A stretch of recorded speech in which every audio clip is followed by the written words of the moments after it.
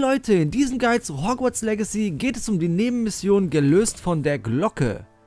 Die bekommt ihr im Süden der Weltkarte.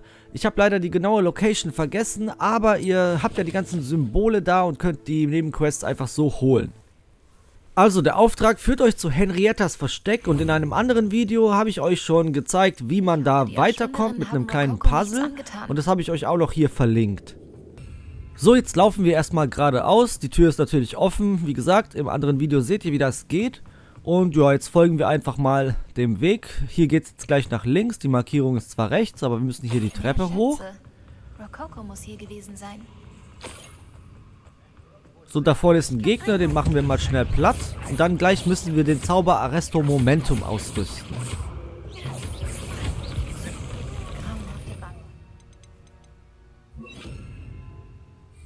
So, den müssen wir jetzt hier unten anwenden, sonst kommen wir nicht weiter.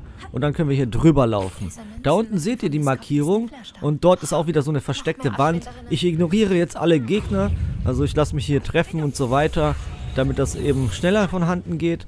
Aber ja, ihr könnt sie ruhig töten, solltet ihr vielleicht auch machen. So, ja, ihr seht, ich bin umgefallen.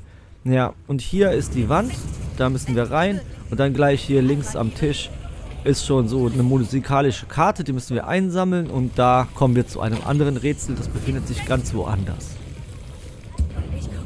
Mit dieser Schatzkarte müssen wir jetzt nach Schloss Klagmar, das ist ganz in der Nähe, also wir sind hier unten bei Henriettas Versteck und hier rechts ist schon das Schloss, dort können wir entweder hinfliegen oder uns hin teleportieren.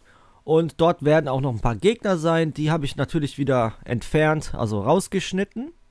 Es ist natürlich besser, wenn ihr alle tötet, dann seid ihr nicht so genervt von denen. So, jetzt müssen wir hier hinfliegen. Jetzt hat man gerade gesehen, so ein Gebäude mit einem, ja, mit einem Loch in der Mitte.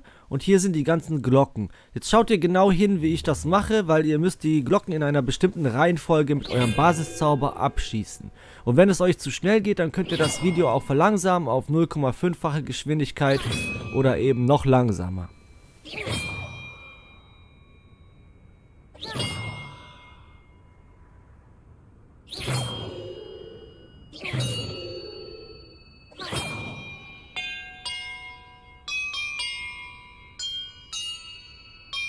So, wenn ihr alles richtig gemacht habt, dann sieht das genauso aus wie bei mir. Und dann bekommt ihr zur Belohnung eine Truhe mit einem Item. Und ja, das war's dann auch schon mit dem Guide und auch mit der Mission. Ich äh, hoffe, es hat euch gefallen und natürlich auch geholfen.